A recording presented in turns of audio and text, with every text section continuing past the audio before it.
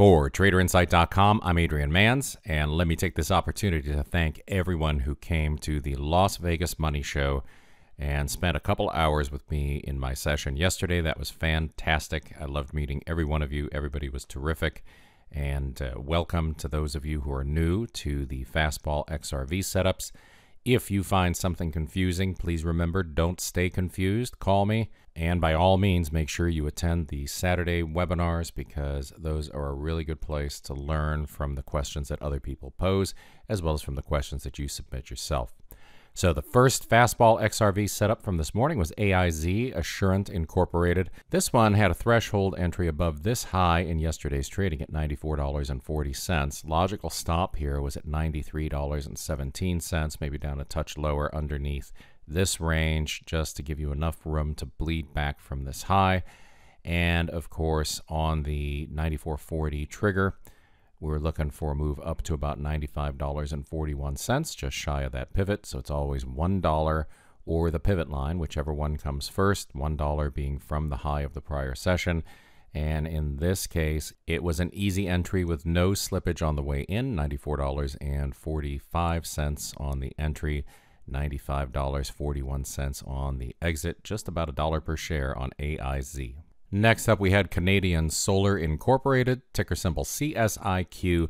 This one was a little bit less of a stellar setup than uh, AIZ was because we had this long period over the course of the day where we just had a uh, an accumulation range going on, and then this bump into the close was the reason that I was looking for a move above 1756 to get me into this.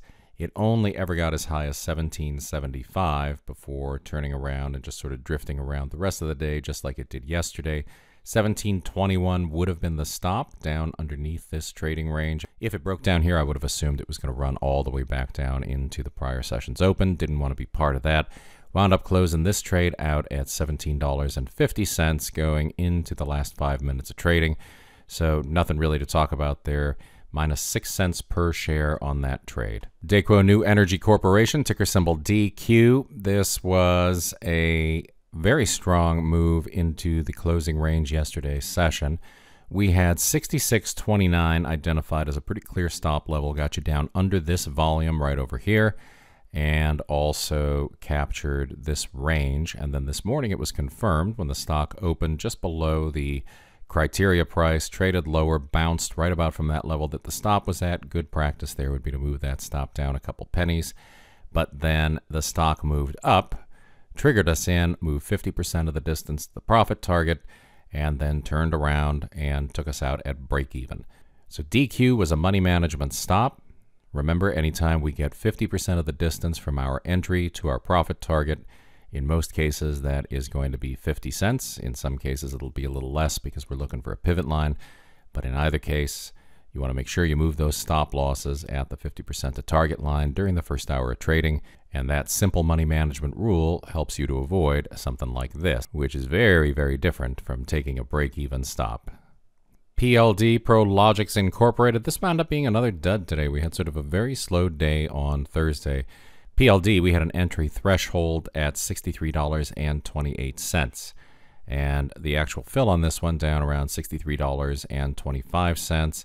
Only ever made it down to 63.18 before reversing and hitting this stop level. So the stop level was at $63.54, still a very tight stop given the magnitude of the trade the prior session, but we had this line that went right above critical support continued above what became critical resistance, and then support and resistance again going into the close. And pretty much any move that we saw going up above here, I thought was going to spell an exit on this trade or a move up into the range.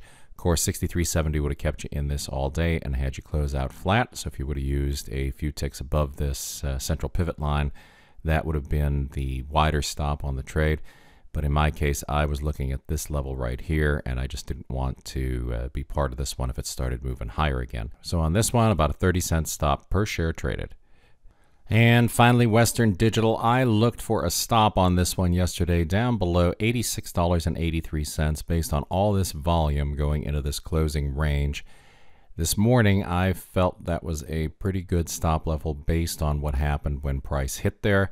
right? First bar of the day opened, popped up, hit that level, reversed, went all the way down into here. Second bar of the day goes up. It triggered us in at $87.14, stopped us back out again at that 86.83 threshold. Actual stop on this one about 35 cents. So the day was a mixed bag, overall positive, not by a huge margin by any stretch of the imagination, but still in the green. And hopefully, based on today's market action, we'll see some really good setups for tomorrow's trading. So if you have any questions, shoot me an email, adrian at traderinsight.com. I hope you had a great trading day today and an even better one on deck for tomorrow. It's the best trader education anywhere, only from traderinsight.com.